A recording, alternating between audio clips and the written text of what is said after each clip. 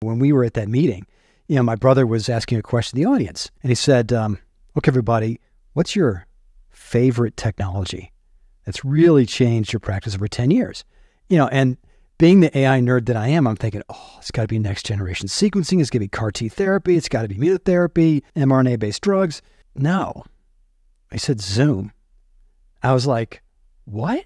And then they said, oh, TikTok's right behind that. And I'm like, this is not what I expected. And and they said, you got to understand. Uh, so I talked to them afterwards. I'm like, I don't know that whether to be depressed or excited. And they said, no, Scott, it's like, think about it.